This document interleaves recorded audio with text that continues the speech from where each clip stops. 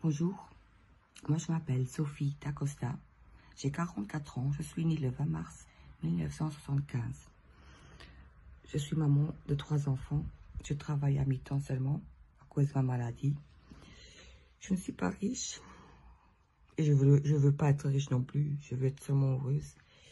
Et euh, j'étais un an avec Guilherme Daniel.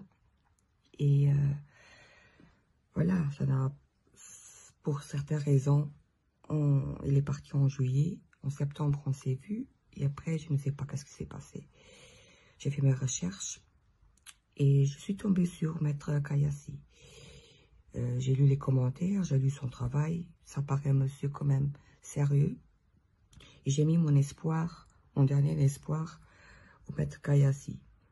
Et euh, je suis croyante. Tout ce qu'il m'a demandé, je le faisais.